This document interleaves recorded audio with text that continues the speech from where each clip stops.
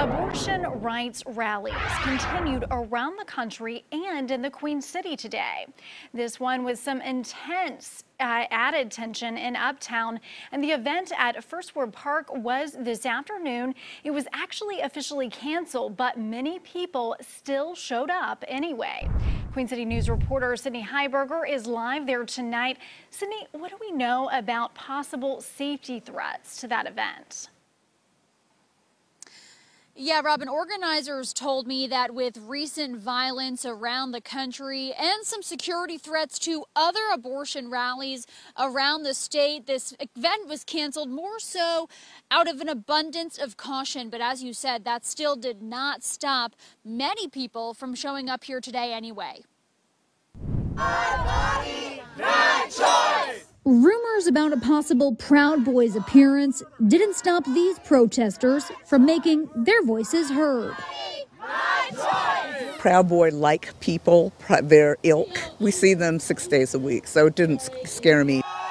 Tina Marshall founded the Black Abortion Defense League and helped organize Sunday's rally.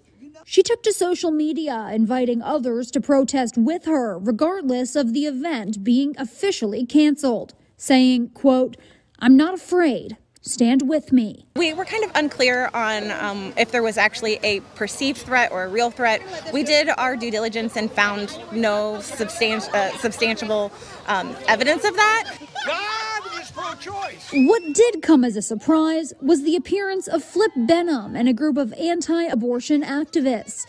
Why are you hiding? The groups exchanged heated words and things got tense as pro-choicers attempted to block out graphic anti-abortion imagery. It's a battle over who is Lord and whose laws reigns. These little ones out here that believe all this silly nonsense and can't get enough people out here to follow them, um, it's, a, it's a joke. For now, abortion remains legal in North Carolina. The goal of these ralliers to keep it that way. Thank you. We could be a voting bloc and um, we could get a lot of things done from the local level all the way up to NCGA, up to Washington, D.C.